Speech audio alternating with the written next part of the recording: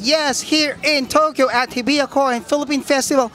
Kasama natin of course one of the sponsors of this event. Mom, name and company. Okay, I'm May Castaneda. We're from Greenfield Development Corporation.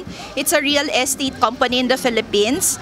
And um, this is our third year actually in joining the Philippine Fiesta. Uh, we're very happy because we're able to not only generate leads but close sales here. Uh, we're offering condos, um, and houses and lots in Santa Rosa, Laguna. But what's good about our company is we're not just offering single tower condominiums, we're offering master plan communities. Okay, so um, incorporated um, yung commercial and residential component. Yan. Nice. So um, everyone can come and visit. We're at booth number 22. We have also our VR, uh, virtual reality gadgets, so that you get a an actual feel of the units that we're offering. Wow, guys, guys, ha? Mag-invest.